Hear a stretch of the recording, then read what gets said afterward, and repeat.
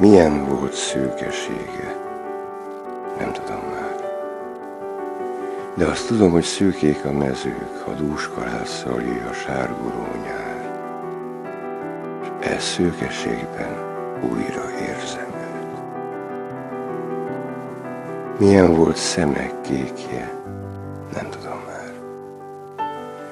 De ha kinyílnak ősszel az egek, a szeptemberi bágyat búcsúzónál szemes színére visszarévedek. Milyen volt hangja sejme, sem tudom már. E tavaszodván, ha sóhajt a rét,